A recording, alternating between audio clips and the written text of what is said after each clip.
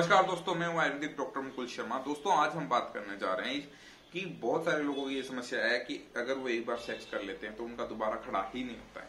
खड़ा होता है तो दस घंटे लग जाते हैं या दो दो, तीन तीन, चार चार दिन बाद वापिस उनको मूड बनता है। तो इस समस्या का निवारण के लिए मैं एक आपको घरेलू नुस्खा बताने जा रहा हूँ। बहुत अच्छा है, घर पे आराम से बना सकते हो, कोई दिक्कत नहीं है, इसलिए इस वीडियो को अंत तक देखे वीडियो अच्छी लगे तो चैनल को सब्सक्राइब कर लीजिएगा, जिससे नेक्स्ट वीडियो ऐसी ही रिलेटेड अच्छी अच्छी आपको मिल जाए। और अगर आपको कोई परमानेंट सोल्यूशन चाहिए तो आप मुझे कॉल कर ट्रीटमेंट भी ले सकते हैं। दोस्तों बात करेंगे आज कि जिनका बिल्कुल खड़ा नहीं होता है या अगर एक बार खड़ा होता है, उसके बाद आपको चार चार, पाँच पाँच दिन लग जाते हैं तो उस पे क्या आपको करना है पहले परहेज? परहेज की बात आएँगे, फिर आपको दवाइयाँ बताऊँगा। जो दवाएँ नहीं, घरेलू नुस्खा और मिक्स दवाएँ तो दोनों आपको मिश्रण करके लेना है रोज़ाना। खाना कैसे मात्रा कैसे वो सब बताऊँगा।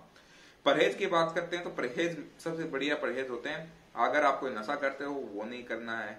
अगर आप कोई तली भुनी चीज़ें खाते हो, ज़्यादा मात्रा में मार्केट के फास्ट फ़ूड खाते हो, जंक फ़ूड खाते हो तो ये आपको बिल्कुल अवॉइड कर देने हैं। अगर आप सोयाबीन का तेल, यानी रिफाइंड तेल, सोयाबीन का यूज़ करते हैं तो वो आपको नहीं करना है। लाइफ में एक बार के लिए सोयाबीन आप निकाल ही दो, क्योंकि टेस्टोस्टेरोन लेवल वो आपको कम करता है। ओके? आगे बात करते हैं कि आपको घर का क्या क्या खा सकते हो? आप इसमें दही, दूध छाए ये आप खा सकते हो, घी खा सकते हो। हम्म इनमें आपको कोई परहेज नहीं है। अगर आप अचार खाते हो तो वो नहीं खाना है। नींबू आप नॉर्मली कभी कभार खा सकते हो खट्टी चीज़ों में। इमली नहीं खानी है, इस चीज़ का भी आपको ध्यान रखना है। अब बात करते हैं अपन नुस्खे के बारे में। सबसे मेन चीज़ आपके दिमाग में चल रहा है कि नुस्खा क्या है। दोस्तों, इस चीज़ में आपको चार पाँच चीज़ें बता रहा हूँ, उसका पूरा मिश्रण करना है। फिर मात्रा भी बताऊँगा एंड में तो वो देखते रहिए। सबसे पहले आपको लेने हैं 100 ग्राम बादाम। ये मैं कुछ दिनों का बता रहा हूँ, आप इसको मात्रा बढ़ाकर भी ले सकते हैं। 100 ग्राम बादाम, उसको अच्छी तरीके पीस लेना है।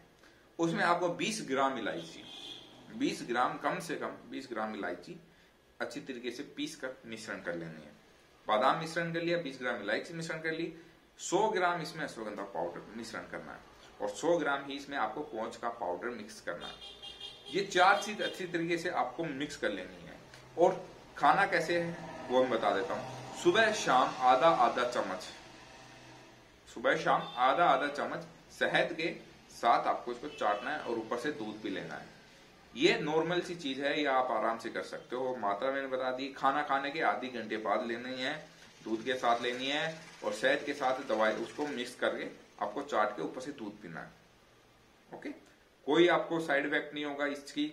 लोग बहुत सोचते हैं साइड इफ़ेक्ट होगा कोई साइड इफ़ेक्ट नहीं है, सिर्फ़ फ़ायदे फ़ायदे हैं। गर्मी नहीं करेगा ये। ये भी याद रखना, सोचो कि गर्मी करेगा मैं नहीं करेगा। मात्रा उस हिसाब से मैंने आपको बताई है। अगर सर्दी में खाओगे तो उसको एक चम्मच कर लेना हम्म?